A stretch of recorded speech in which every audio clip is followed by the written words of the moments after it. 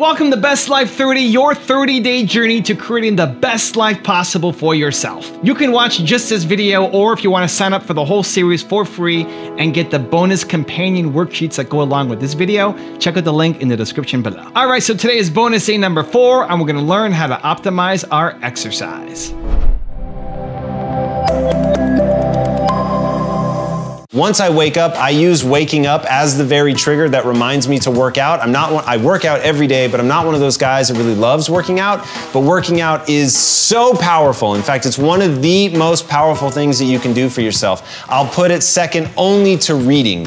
Uh, so I get up first thing, as soon as I roll out of bed, I go straight to the gym and I start working out. Now, the reason working out is so powerful, there's tons of research. Uh, you can start with the book Spark by John Ratey, who's actually been on the show. Incredibly powerful book that draws parallels between exercise and cognitive performance and how it can have massive impacts um, and, and just some really, really powerful stories in that book. So can't encourage uh, enough for you to read that. Another IQ guest, Norman Doidge, has talked a lot about the brain and how it heals itself. In fact, in his book called The Way the Brain Heals, um, talking about how walking uh, specifically and exercise in general can have a tremendous impact on the brain's ability to rewire itself. So not only is there just neurological science behind why getting exercise is so powerful, but beyond that, moving into some softer science, I, will tell you that developing discipline is one of the most critical things that you need to be successful.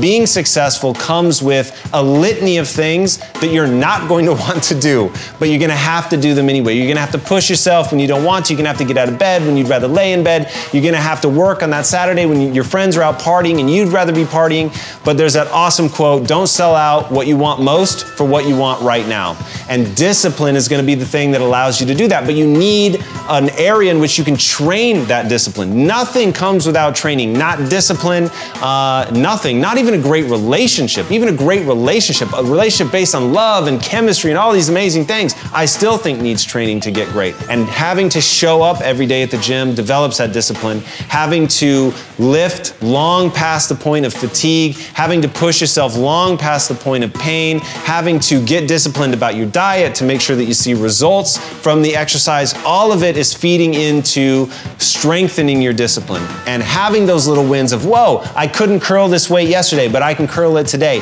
That kind of thing really helps to build your confidence. And as I'm sure you guys have heard before, and I'm sure as you feel in your gut, when you've got confidence, you hold yourself differently, you think about yourself differently, you act differently. And that confidence is born of those little wins. And if you can put yourself in situations where you can have these small incremental victories every day and you're pushing yourself and you're seeing seeing the results not only of getting a victory, but you're seeing the physical changes that your body goes through.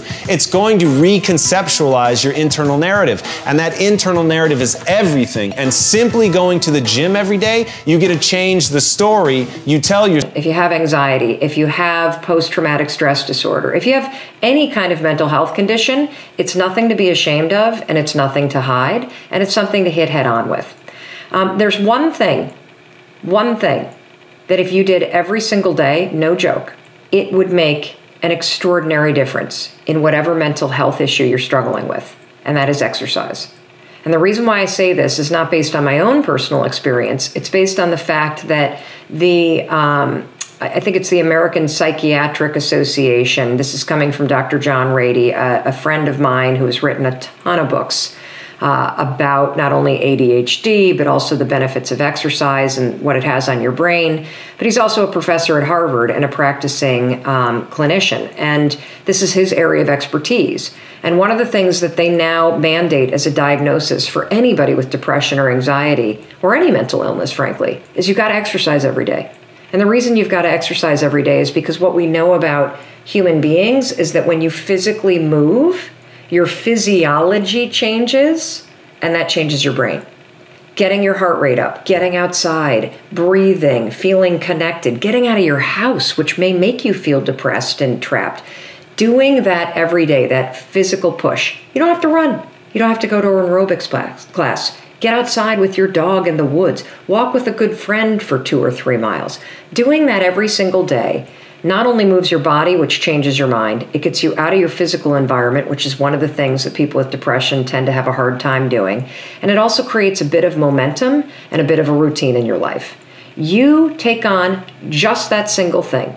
Get outside and exercise every single day as if your life depends upon it. Because you know what? It does. Your brain needs it, your body needs it, your mental health needs it. I used to be able to, to, to eat whatever I want, and then in six weeks I could get in any shape I wanted to get into. But that's not the case anymore. We're, we're around the 12 or 14 week uh, uh, mandatory uh, training to, to do anything. But, but I love it. I'm, I enjoy. Um, I enjoy the discipline of it. For me, working on on your body is the beginning of everything. You know, your mind starts to work better. You're uh, better husband, a better father, a better friend, and life is just better when you you know care for your body at the highest level. My whole focus is how do you get the greatest result with the least amount of time or energy. Intensity trumps duration all day long. We're gonna do a, the briefest workout that'll max you out. Okay. all right, Rich, let's do it. Next thing I'm gonna do is have my trainer here. His name is Billy. We're gonna do this one first. Let's pop you over here. It's designed to make every muscle in your body get the maximum demand in the shortest time with the least trauma. We're gonna do basically a chest press on here. Your job yep. is you're gonna push as hard as you can continuously, and a timer will go on, you're gonna have to hold and keep pushing as hard as you can until the timer's done. It goes for five seconds. Go for it. Full tilt. That's it. Go, go, go, go, go, go, go. Good, good, good. Harder, harder, harder. Come on, baby. Come on. Come on, come on, come on, come on, come on, come on, come on, come on. Okay, let go.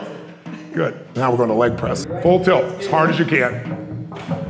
Go, go, go, go, go, go, go, go, go, go. Look at this monster. Look at this go. Let it go. Oh, there you go. Nice job. You're done. Okay, this is going to be core pull. Go, go, go, go, go, go, go, go, go. Done. That one not quite as good. You know, you've done what, 15 seconds of exercise so far total, right? Yeah, it felt like I did a, like an hour's workout. If you want, we'll put you on the little torture machine. This, this is something we only do once or twice a week. You don't do this every day.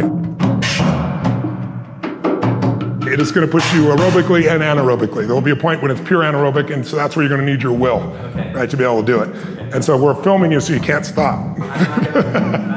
okay, pop on here. go, full tilt now. Start it up, go. Full tilt all the way. And push. Push as go. hard as you can. That's it. Come on, baby.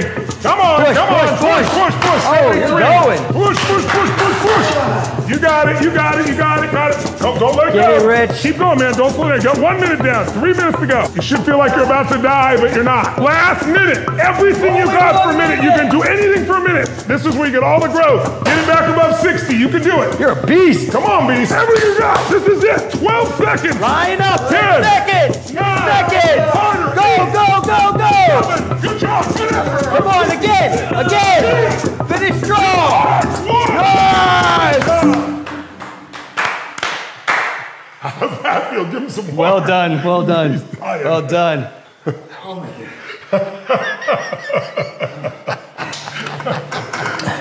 my forearms feel like uh, jello. You're gonna feel it for the next couple of days, brother. All we're gonna do now is cleanse your body a little bit more. We're gonna put you in the heat and then put you in the cold, and you're done. So what you're gonna do is you're gonna pop in here for as long as you can take it, push yourself to the edge, which for most people is about four to five minutes. And then when you're done, without delay, once you're there, you're gonna drop right down into the cold plunge here. All ready? Come on in. Say goodbye to him one last time. Good knowing you, Rich. Put some water on there.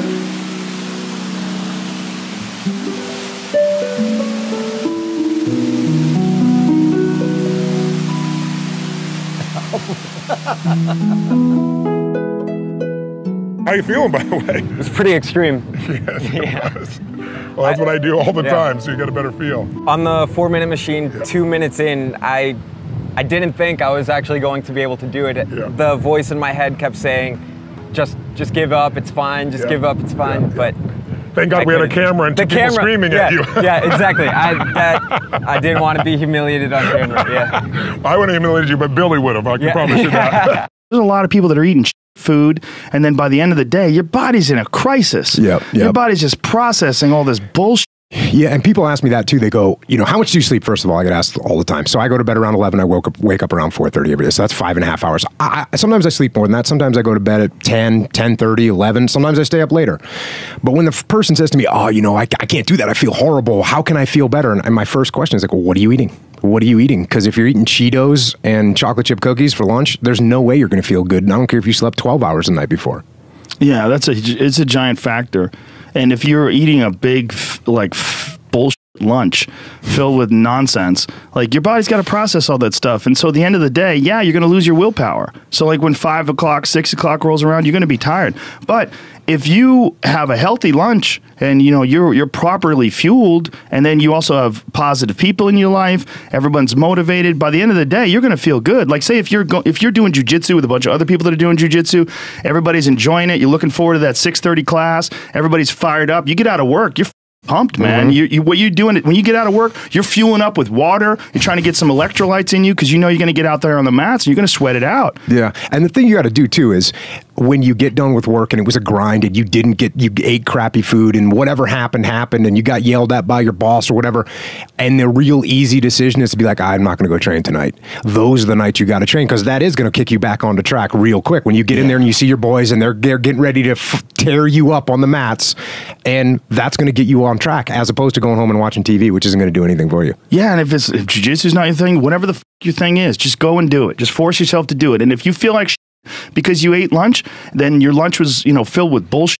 Well, then, hey, dummy, don't eat. sh- Lunch tomorrow. Tomorrow, try a nice salad. Yeah. You know, try a salad with some salmon and see how you feel then. You're like, hey, I feel way better today at six o'clock. Duh. Yeah. Yeah. Now Yeah. your decision making will be better. Like they, people don't understand how significant it is. Like all these little decisions, they those are like the that's the path for the rest of your existence on Earth. And if you decide to go to Cheetos chocolate chip cookie route, you're you're you're just making a sh- path. You're carving your path through broken rocks and glass, and it's not the way to go. Yeah, there's no doubt that the the life change decision isn't one big decision that you make. It's No. all these little tiny decisions. It's you know having a salad instead of Cheetos. That's that's that's what it is on a daily basis. And if you think about that, and then you just make the right decision on those little things, that's where that's where the change yeah, happens. you when I take a spin class, a really good spin class where I'm loving the music and I can absolutely let go and charge into my body, I can like feel into every single movement. I can let the sweat pour off of me. I can get lost in the in the rhythm. I find that it opens up a channel in me like nothing else. Sometimes it could be taking a great walk. I think I want to push you a little bit on Yeah. opens the channel so I really understand it. yes. Is it where you feel like you can hear the little voice in your mind? Is it where you're Ironically, you can't try and force it to show up.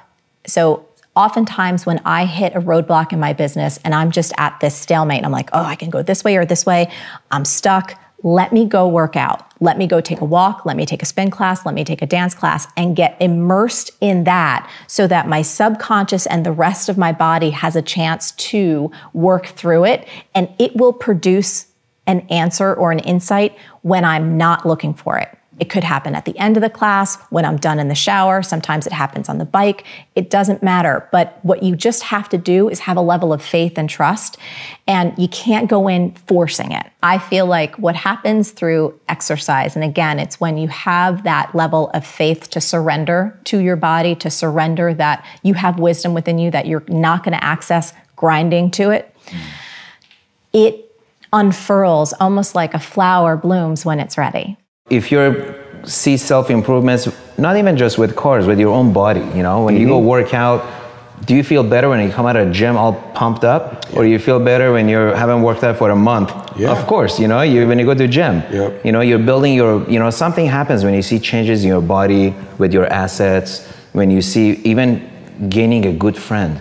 I have my down days, you know. I'm mm-hmm. sure you do too. We're all course. human, you know. Yep. You could have all the money in the world, you're still gonna have a bad day. You Yeah, know, absolutely. You, you don't know what's gonna cause it, but you know you do. And you know, for me, working out is great. I have a personal trainer three times a week, and then when I don't have my personal trainer, I just get out of bed and drop on the floor and do 20 push-ups, 30 push-ups. do. I do it until I can't do it anymore, hmm. and then I hit the shower and I feel great. You know, Yeah. and it's you know it's just keeping the fluids going. You know, Yeah. your mind fresh. Yeah. Because workout not just improves your physics, it also helps your mind. you know? Agreed. And uh, sometimes it helps your mentality more than your physique, but people don't realize it. You know, it helps you focus. When you come to work and you haven't exercised, you're lethargic. Sometimes it takes an hour or two before you even get into the flow of doing things, right?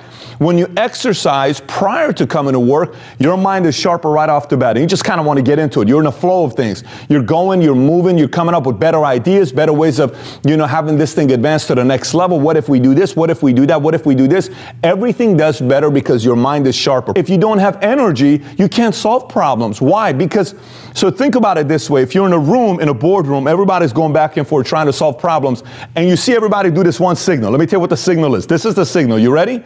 This is the signal of somebody saying, we should just figure something out and leave the boardroom. This is how it looks like. You know what the signal is? What is the signal? I want to go home, right? The signal is, I want to finish this meeting here. We should already wrap up. You could have been seven minutes away from solving this problem in a way so effective that would have helped you take your business to the next level, but you were so tired because you're lethargic from not exercising, not having proper diet, that you just made the good decision instead of the best decision, so you don't advance to the next level. And by the way, this happens in sports, this happens in business, this happens in everything you watch because you can tell when decisions are made, and this is what happens. The person goes like this ah, let's just do it. That's not the best decision. That's just a decision. It's not the best decision. The best decision is, um, if we do this, it does this. If we do this, it does this. If we do this, it does this. Here, let's write this on. Ta, ta, ta, ta, ta. You know what? I think this is the best decision. We're moving with this. What do you guys think? Great. Let's talk about running. All right, first, big picture. This is what matters, and the body is just there to like keep this thing running, the brain. Big picture.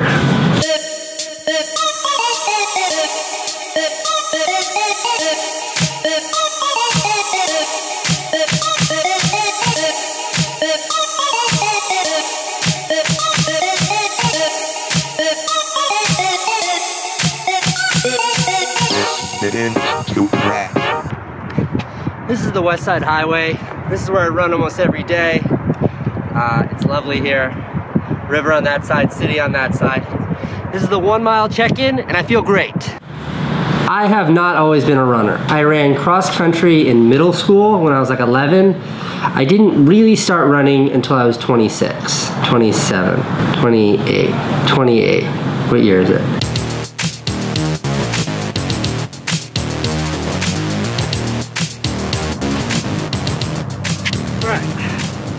Still on the West Side Highway.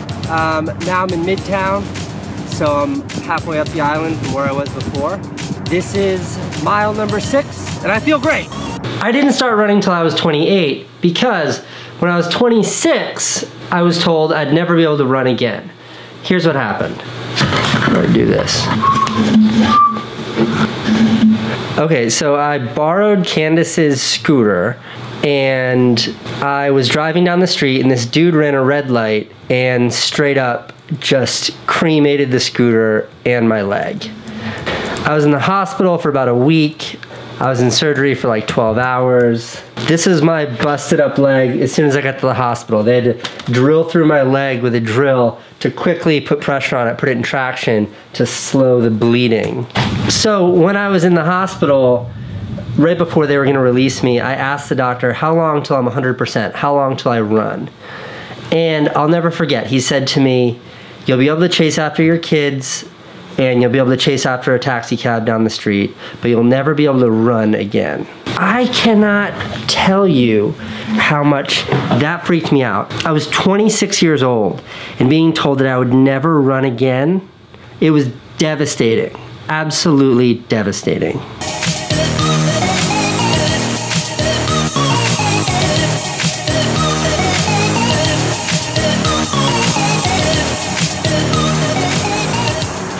Still the West Side Highway on the other end of this tunnel. Now I'm uptown. I'm coming into the island here. This is the eight mile check-in and I feel great. Okay, I found the footage. All right, so this is two years after I got out of the hospital. This was, well, here. Just finished my first marathon. Check out my feet. Those are my feet. This is gross. You get the point. So my first marathon was a, an unmitigated disaster. I really like got beat up. I sat down. I was walking. My time was abhorrent. I hate doing something and not being great at it.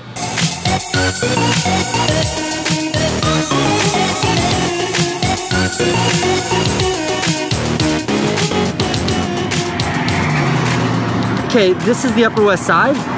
That's Central Park. I just ran across the Upper West Side. I'm now entering Central Park. Mile nine check-in, I feel great. Four months later, I ran my second marathon and I really got, I really got it together.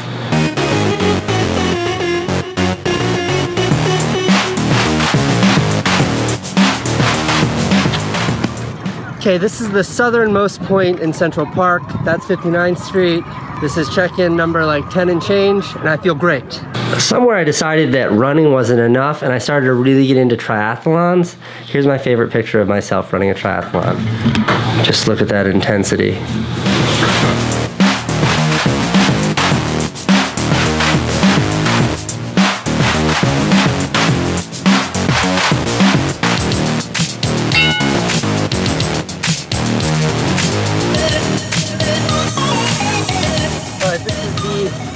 Easternmost side of Central Park. That's Fifth Avenue there, mile 12, and I feel great. Since being told by that doctor that I'd never be able to run again, I've run 22 marathons, I've competed in four Ironman triathlons, probably 100 other triathlons and other road races, uh, and I never looked back.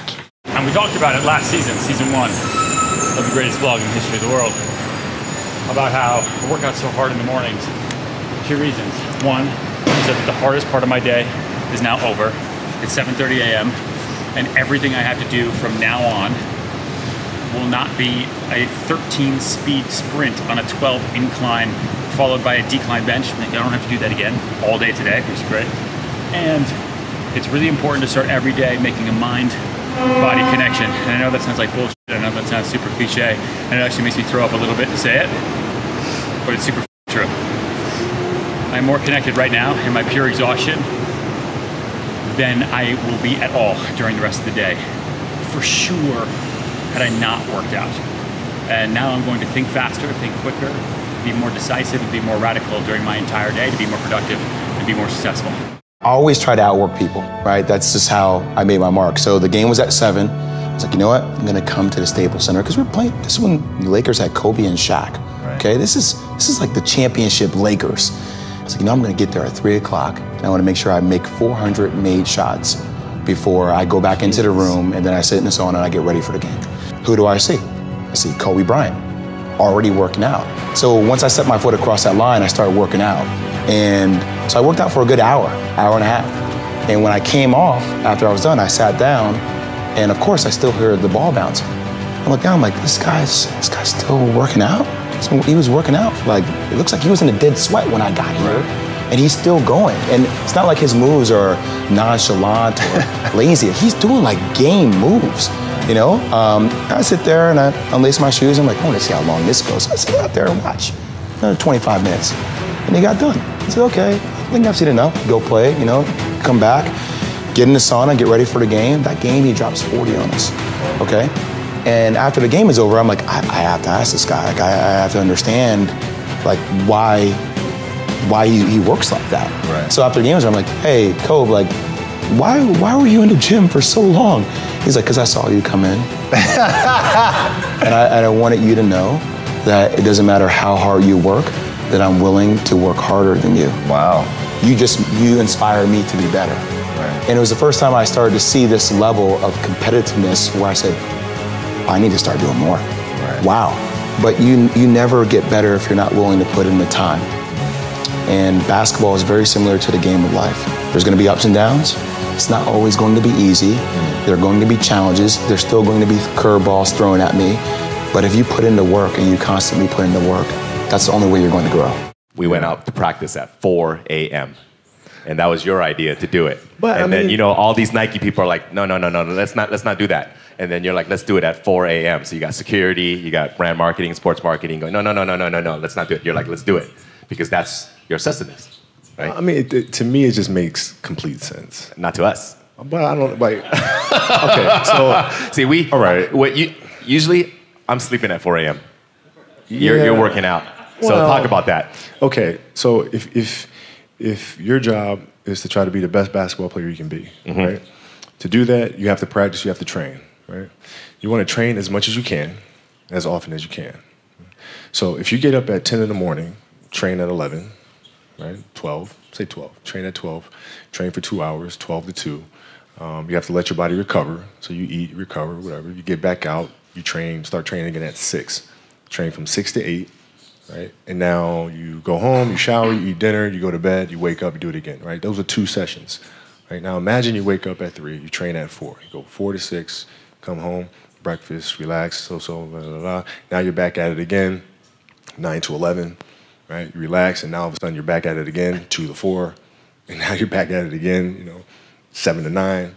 Look how much more training I have done by simply starting at 4, right? And so now you do that, and as the years go on, the separation that you have with your competitors and your peers just grows larger and larger and larger and larger and larger. And by year five or six, doesn't matter how, what kind of work they do in the summer, they're never going to catch up because they're five years behind. right? So it makes sense to get up and start your day early because you can get more work in. Is that genetic? Or is that something you, you ingrained and trained yourself? No, it was Who just taught you that? For me, it was just it was just common sense. Like I, I can I can if I start earlier, I can train more hours, and I know the other guys aren't doing it because I know what their training schedule is, right? So I know if I do this consistently over time, it's, the, the gap's just going to widen and widen and widen and widen and widen, and they won't be able to get that back. Mm-hmm. So it, to me, it was just common sense and like thinking, how can I get an advantage? Oh, start earlier. Yeah, let's do that. How do you develop that, or where do you where do you learn that from? Well, I, I think it's just you know it's just a matter of what's important to you, Mm-hmm. and what's important to you for for whatever reason. You know, I, I felt like um, I didn't feel good about myself if I wasn't doing everything I could to be the best version of myself. Mm-hmm. If I felt like I left anything on the table, um, it would eat away at me. I wouldn't be able to look myself in the mirror. Right? So the reason why I can retire now and be completely comfortable about it because I know that I've done everything I could to be the best basketball player I could be. Um, and so yeah, that's where it comes from for me. You can't leave any stone unturned. Now I've got a special bonus clip that I think you're gonna enjoy, but before that, it's time for the best Life 30 questions of the day. It's not enough to just watch a video like this, you have to do something and take action in your life. So pull out your worksheets and answer these questions, and if you don't have the worksheets yet, you can get them for free by signing up for the series in the description below. Here we go. Question number one. How much do you want to fit exercise into your weekly schedule? Number two, what are the important reasons why this must happen right now? And number three, what will keep you consistent so you follow through? And if you're doing the Best Life 30 challenge with me, give me a hashtag Best Life 30 down in the comments as well so I can celebrate you. Working out, even if it's for 15 minutes, 20 minutes in the morning, something quick, doesn't have to be a two hour marathon workout. It gets your body moving. Just like music gets you moving a little bit, so does working out. And if you're you're pumping weights or if you are, you know, doing some cardio, whatever it is, moving your body, getting energy, getting activity, getting motion gives you momentum to go out and do something great. I get a lot of great ideas when I'm working out. I get a lot of great ideas in the shower after I'm working out. And after I've finished the workout, I feel refreshed, energized, ready to go out and tackle my day, and way more energy than I get if I don't. If I miss a workout because I've got a really early morning you know, conference call or you know, I'm off speaking at some event, then I feel sluggish. It's harder to get started. So get some workout time scheduled in there. Again, like 15 minutes in the morning just to get your body moving. If you want to join the Best Life 30 challenge and get the free worksheets, click the link right here below me. Or if you want more videos on how to optimize your exercise, check out the playlist right there next to me. Continue to believe, and I'll see you there.